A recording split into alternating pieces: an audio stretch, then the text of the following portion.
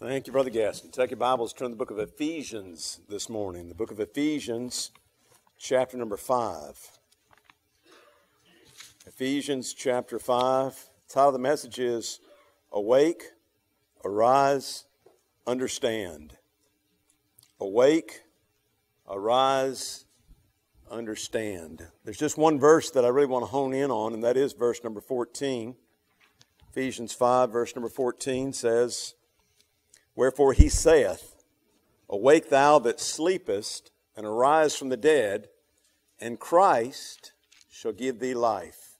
Let me read that verse again. Wherefore he saith, Awake thou that sleepest, and arise from the dead, and Christ shall give thee light. The he in that Bible verse, I take it to be God. God is saying, Awake thou that sleepest, arise from the dead, and Christ shall give thee life. Paul is actually then relaying a message from God directly to the Ephesians. Best I can tell, this is not an Old Testament quote.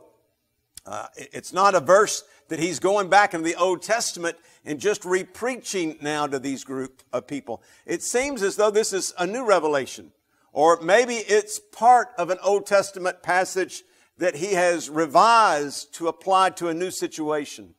But in this section, he's trying to help the Ephesians, the Christians, to understand that there's some task that they need to do. As a matter of fact, this is really just the third of his points. What he's doing in this section is he's describing the condition of the lost. He's describing also the work of the Christians. And then he's describing the urgency of the task. Look back up in verse number 11, if you would, and notice the condition of the lost. Verse number 11, he says, and have no fellowship, excuse me, verse number 12, if you would please. Look at verse number 12. For it is a shame even to speak of those things which are done of them in secret. He's describing there the lost. He says, we can't even talk about the things that the lost world does. He says the things that they do is so bad, we can't even mention them in public. Then he also goes up and describes our task. He does that back up in verse number 12, the verse that I tried to read just a moment ago. Uh, verse number 11, let me get my verses correct. He says, And have no fellowship with unfruitful works of darkness, but rather reprove them. So he's describing the condition of the lost. Then he tells us what our task is. What's our task? Our task is not to condone the wickedness that's going on in the world. It's certainly not to compromise with it, not to get involved in it. It's, it's really not even just to endure it. He says our job is to reprove it. To reprove means to correct. We're to correct the lost. A lot of people think, well, we're supposed to be like Christ. We're supposed to love folks in their sin. And yes, we are. We should always be kind. We should always be gracious. We should always be loving. Those things we should always be. But at the same time, we have to be reprovers. We have to be clear. We have to be direct. We have to be blunt. Why? Because that's our task. That's what God has called us to do, is to reprove the lost world. So He tells us first the condition of the lost. He tells us what our task is, and then he describes in verse number 14 the urgency of our task.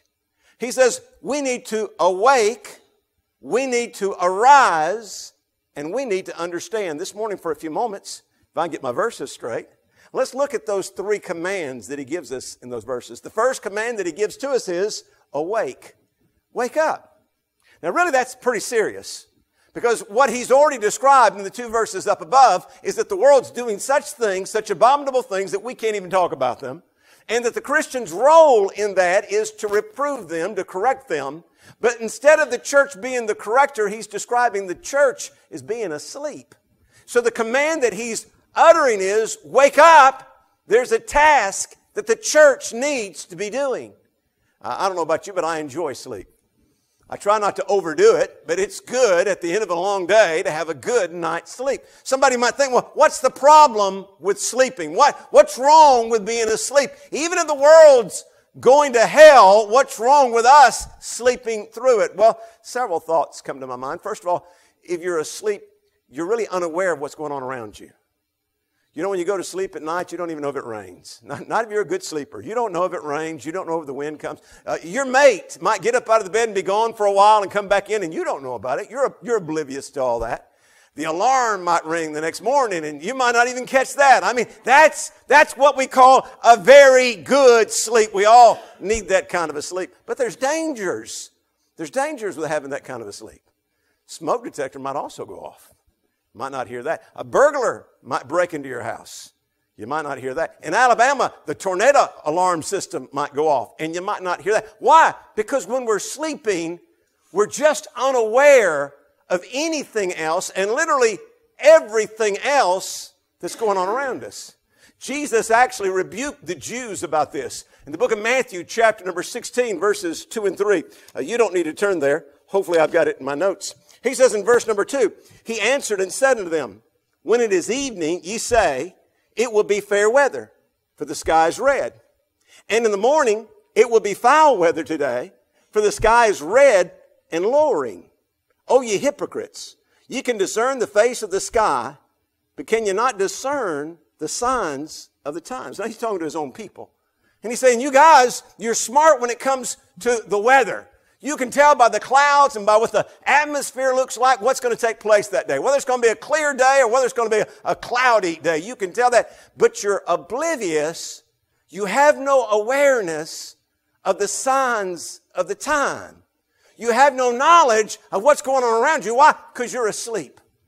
It's a sad situation to be spiritually asleep. It's sad for the lost. You know, the lost are so soundly asleep they don't know they're lost. Jesus gave a parable in the book of Luke, chapter number 18, about two guys that go up to the temple to pray. And, and one guy is praying, and one guy is just over in the corner, and he's just beating on his chest, just saying, God, please be merciful to me. I'm just, I'm just a sinner. But the guy who's praying out loud prays something like this. He says, God, I'm glad I'm not like everybody else. I'm not an extortioner, and I'm not unjust, and I'm not an adulterer. I'm not even like that old sinner over there.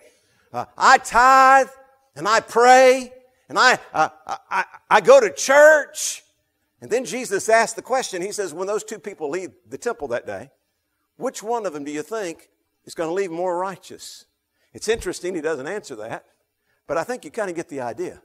The guy who beat on his chest understood he was a sinner. The guy who was standing upright and praying, he had no idea just how abominable he was in the presence. Why? Because he's asleep. People that are asleep don't know what's taking place around them. They don't know that they're lost. They don't know that there's a hell. To be honest, there's a lot of people that are so deeply asleep, they don't even know they're going to die. To them, it happens to everybody else, but it's so far pushed away from them because they're asleep that it doesn't even ring true in the depths of their mind, in the depths of their soul. But now, wait a minute, we're not reading in the gospel. We're reading the epistles. Uh, Paul is not teaching to the lost people, he's teaching to the saved folks. This isn't a gospel for evangelism, this is an epistle for teaching. Paul's not calling the lost asleep, he's calling the saved asleep. The same unawareness that takes place in the lost world, it takes place in the saved world too.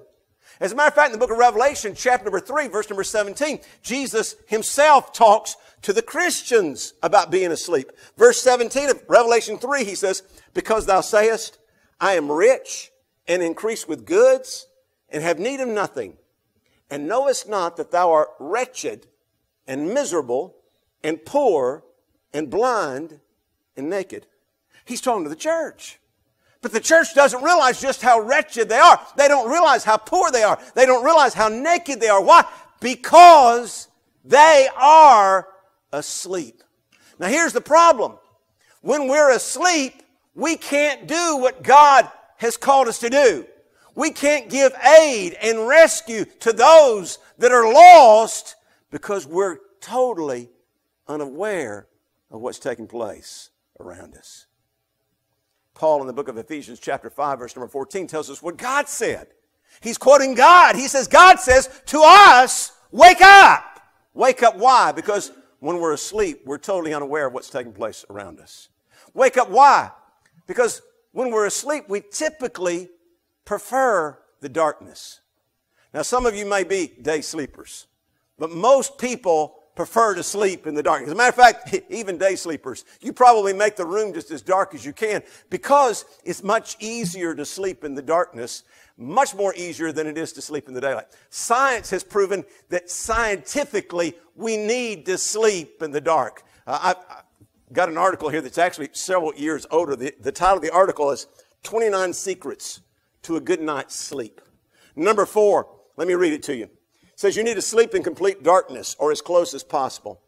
If there is even the tiniest light in the room, it can disrupt your uh, circadian rhythm and your pineal gland's reproduction of melatonin and serotonin. There also should be as little light in the bathroom as possible if you get up in the middle of the night. Please, whatever you do, keep the light off when you go to the bathroom at night. As soon as you turn that light on uh, for the rest of that night, your body immediately ceases all production of the important sleep aid melatonin. What does science tell us? It tells us we need to be in the dark. It's natural. It's needful for us to be in the dark. But just like sleepers prefer the dark, sinners prefer the dark. Uh, darkness in the Bible is a picture of being without truth, being without Christ, being even without understanding. So, as Christians who are asleep, not only are we unaware of what's taking place around us, but we're more than likely preferring to be without our Savior, to be without the truth, without sanctity, without the things that are pure and the things that are holy. The world that we're living in is changing. It's changing very rapidly. There was a time when most people did their sinning in the dark. They were ashamed of it. And then a few years ago, and I'm saying a few years, it's probably been a few decades ago now, they, they, they kind of came out of the closet. I mean, that was the phrase, and, and not just with homosexuality, but with all sins. For a while there, they were, and they still are parading down Main Street. But now we're, we're, we're moving over to the third phase. And the third phase is they're trying to put out everybody else's light as well. Things are changing so much. Why? In part because even the Christians are asleep. And those that are asleep prefer the darkness. Christ's command, God's command, what Paul is relating to us, is the command of God. What is that command? We need to awake. The command is we need to wake up.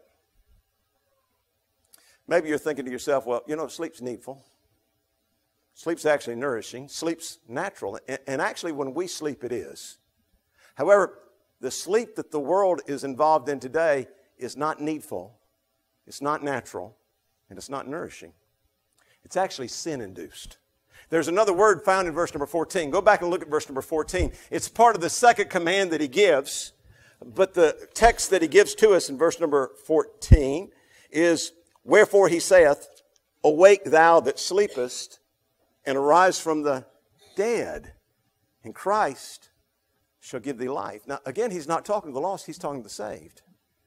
But he's describing that the sleep that the, the saved are sleeping is a sin induced supernatural death. He's not talking to the unsaved, he's talking to the saved. He's not talking to a wicked church, he's talking to a good church. The church at Ephesus was one of Paul's best churches. It was a church where he spent two years there. It was the church when he knew he would never pass by again. He went out of his way to set up a meet with the leaders of the church just so that he could pray with them and speak to them one more time. When Paul writes this epistle, he's not writing to a church like Corinth to correct them. He's writing a church to remind them of how much he loves them, but still, he acknowledges that inside that church there's people that are sound asleep and they're sleeping the sleep of death. It's as if Satan had gotten a hold of them and put blinders on their eyes. They're completely unaware of what's going on around them. They're completely asleep to what's happening, incapable of doing what God's called them to do. And the command that he gives is wake up. Awake.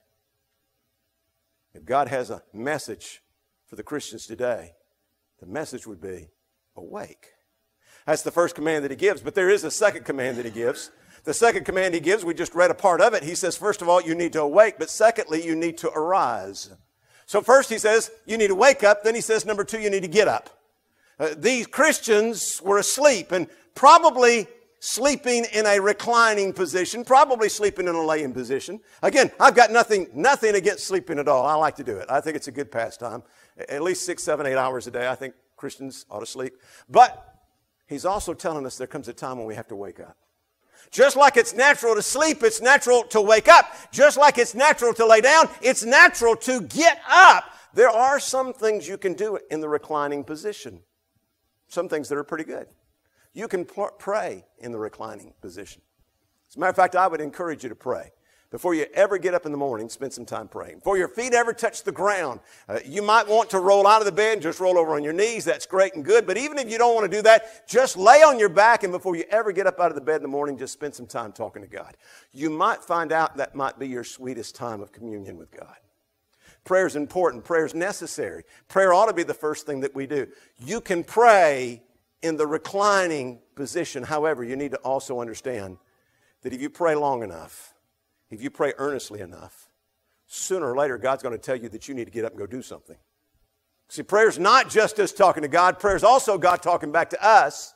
The old saints used to say, you need to put some feet to your prayers. Yes, you do need to pray. You need to spend much time in prayer. You don't need to do anything else until you have prayed, but you do need to do more than just pray. So you can pray from a reclining position. That's a good thing. First thing to do. Good place to start. You can think from a reclining position. Now, you may not believe it, but I like to think too. I like to sleep. I like to think. As a matter of fact, the older I get, the more I think and the less I do. I'm not sure, but maybe that's the new definition of laziness. However, I've never been one who liked to jump into something and see how it worked out. I want to kind of stand back. I want to figure out what I need to do. I want to see how this is going to lay out. I kind of want to get the details in my mind. If this happens, I'll be able to do this. I like to spend some time thinking. And, and by the way, that's a pretty good practice. You don't want to just think, but there's nothing wrong with being in a reclining position and thinking things through. But again, if all you do is think and you never do anything, then nothing will ever get done. You'll have plenty of ideas, you'll have plenty of goals, maybe plenty of ambitions.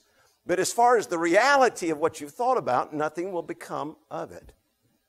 There's a lot of good things you can do when you're laying down. You can pray, you can think, you can cheer. Man, from a laying down position, you can cheer. Somebody called yesterday where I was at. For some reason, my phones weren't working. And so they just left a message. A lady called. And, and the message was two minutes and 45 seconds. I noticed the length of the time of it, and that whole message was just a message of encouragement. This lady was just going on and on about how she wanted me uh, to know that she appreciated this and she appreciated that. Boy, those are the kind I'm going to say for a while. Everybody needs a cheerleader. Everybody needs somebody to say, man, that was a good job. Man, you did good. Uh, you need to hang in there. You're doing what God wants. Everybody needs a cheerleader. But no matter how many good things you can do from a reclining position. In the end, from a reclining position, all you can really do is watch what's taking place around you. If you really want to get involved in the things of Christ, then you have to follow the commands that He gives. The first command is you have to wake up, but then number two, you've got to get up. You've got to arise in order to do what God wants you to do. I know I keep mentioning it, but it's because it's an important theme this year. Our theme this year is more. 20, 2019, we want to do more. We want to be more for Jesus. More worship, more devotion, more giving, more witnessing. And maybe you could think of some more things that you need to put onto that list of more. Those are just the first four, or the important four that came to my mind. Every single Christian has to make a decision. Whether you're going to be a sleeping saint or a serving saint. Whether you're going to be a reclining saint or a revived saint. Whether you're going to be a omitting saint or an obedient saint. Those who will not get up will never accomplish anything for Jesus Christ. Paul's got a command, three commands that he's given. He's looked at the situation. He says, The world's lost. They're doing things that are so bad we can't even discuss them. The Christians are supposed to be the reprovers, the ones that speak to them about these. Lovingly, yes. Graciously, yes. But bluntly, yes. The problem is they're asleep. they need to, number one, wake up. They need to, number two, get up. And then they need, number three, to understand.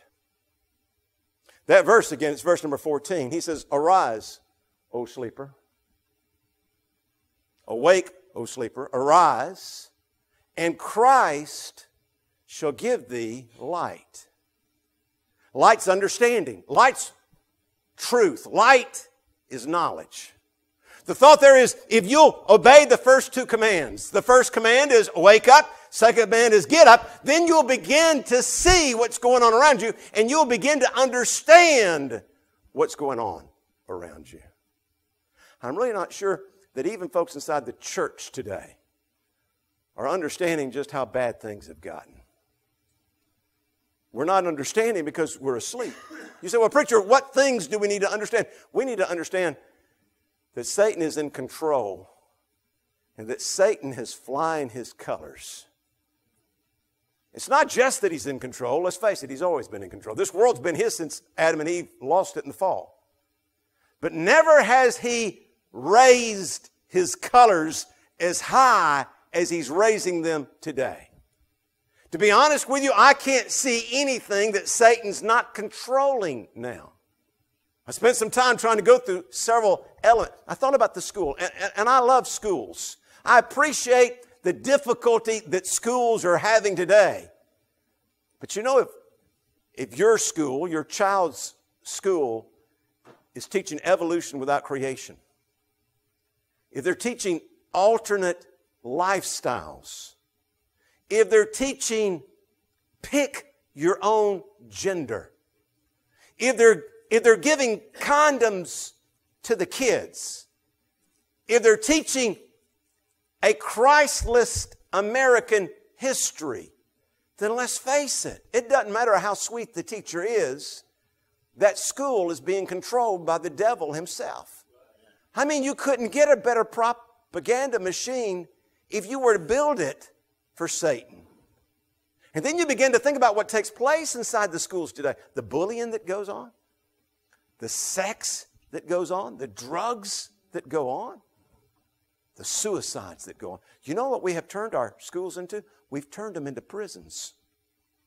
We've, somewhere along the line, we've lost the notion of educating our kids, and the only thing we want to do is give them a diploma. We put them in this prison for 12 to 14 to 16 years, and the devil is the warden. And then we wonder why our kids are coming out the way that they're coming out. Friend, it's a terrible situation. And it's not because there's not good folks in the school. There are. There's some great principals, there's some great teachers, there's some great helpers, but the devil's just controlling everything else. You look at television. I mean, can you see any wholesomeness in our entertainment at all anymore? Can you, can you see any purity? Can you see any godliness in the music, in the movies? Can you see it in, can you see it in the news? Can, can, can you see it in the politics? Can you see it even in the churches? So many of our churches today, even inside the religious establishments, Satan is in control. You say, Preacher, you're trying to scare us? Yeah, I guess I kind of am. Because we're asleep. We're not realizing just how bad things have got. The devil's always been there. But never has he had as much control. Never has he been so glorified. Never has God been so villain, villainized as what's taking place in this world today. We need to understand Satan's not just in control, he's hoisted his colors. We need to understand that we're living in the last times. That's what the Bible said would happen in these days. We're there now. There's really nothing else that we need to expect. Yes, it will get worse, but what new things can there be? The only thing that's left is massive persecution of the church. And as I said a few moments ago, we're moving that way. We've gone from using the closet for our sins to parading them down Main Street till now the next thing is they want to put out the light.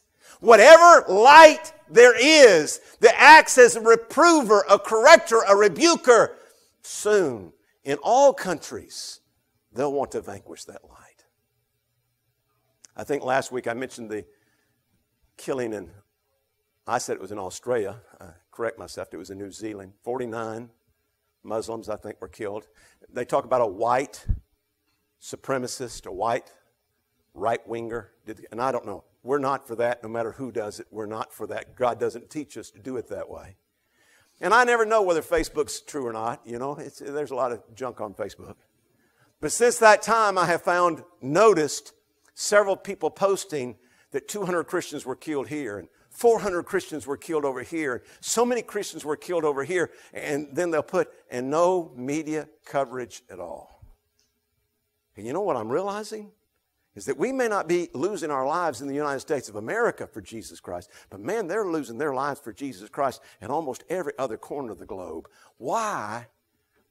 We're living in the last times. They're not just wanting to come out of the closet now, they want to turn off the light. These are the last days. We need to understand some things. Christ shall give thee light. What should we understand? The devil's in control. We're in the last days. We need to understand this world's not our home. Somebody said, Well, preacher, I'd, I'd like to wake up. I'd like to get up. I, I'd like to do more things, but it would cost me.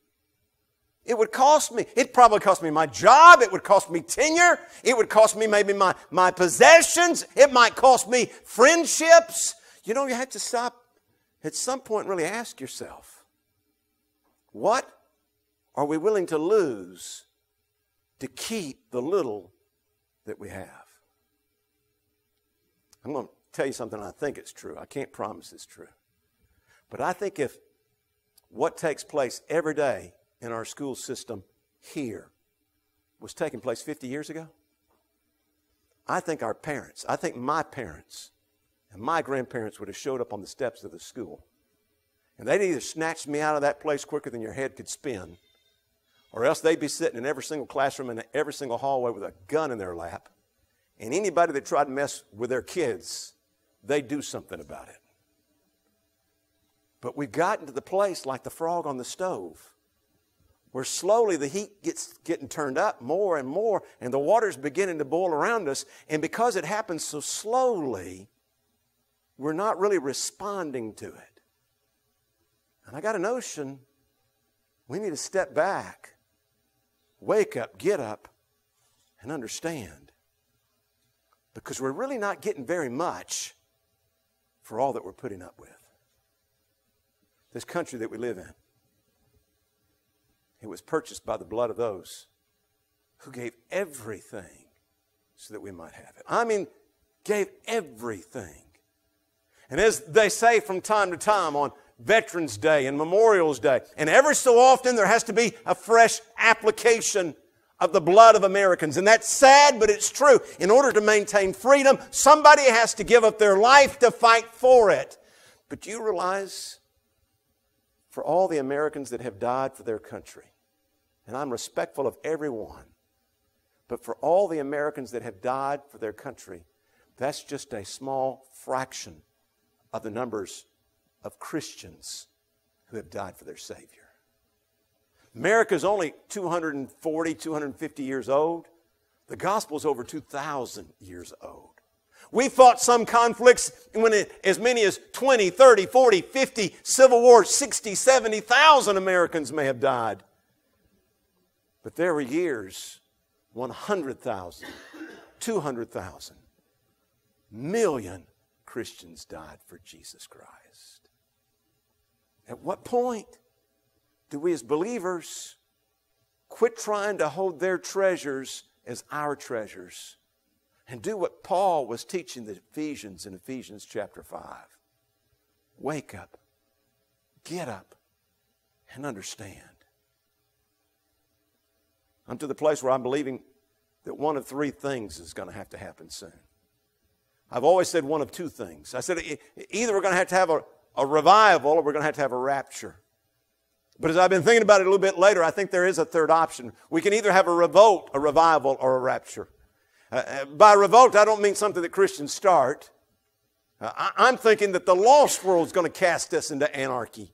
We could have a major revolt against authority. And I, I think we're kind of moving that way So we could have something like that. We could have a revival, or we could have a. I'll be honest. I've always rooted for the for the revival part of me wants to root for the rapture, but, but I'm, I'm, I'm rooting for the revival because I want to see God do something miraculous again. I want to see the Holy Ghost descend. I want to see souls get saved. I want to see the church ignite a flame and a fire for God once again. I'd love to see that. But even if it's to be the revolt and ultimately the rapture, I don't want the rapture to take place and me be asleep. I don't want the rapture to take place and the bride to be taken off this planet. Those that are saved and, and, have said, We slept the last 10 years. We slept the last 20 years. We did nothing for Jesus. Man, I'd rather, I'd rather die in the revolt than to fly out asleep in the rapture. I want to see what Paul said we need to be. He's given us three commands. Wake up. Wake up. Get up. You can't do anything from a reclining position. Christianity is not a spectator sport, it's a contact sport. And when you wake up and get up, then Christ will give you some light. Then you will understand what's taking place around you. Then you will see the whole picture. The commands that He gives or to the body of Christ. Because we're, we have a task to do. What's the task? The task that Christ has called us to do is to be a reprover of this world. It'll cost you something to be that reprover. You should always be courteous. You should always be gracious. You should always be loving and kind. But if we lay down our task to reprove the world, then we cease to be the solution to the problems. And we begin to be the worst part of the problem. You and I have been called to awake, to arise, and to understand. Let's pray together. Father, I thank you for the opportunity to preach. I thank you for the attention of the people. Though my lips and my mind have not been capable of explaining as clearly as I would have liked. I pray, God, that the Spirit of God would take the Word of God and would accomplish something that only the Holy Ghost of God can do. You do your will, your work in this hour. We'll do our best to give you the praise for what you do.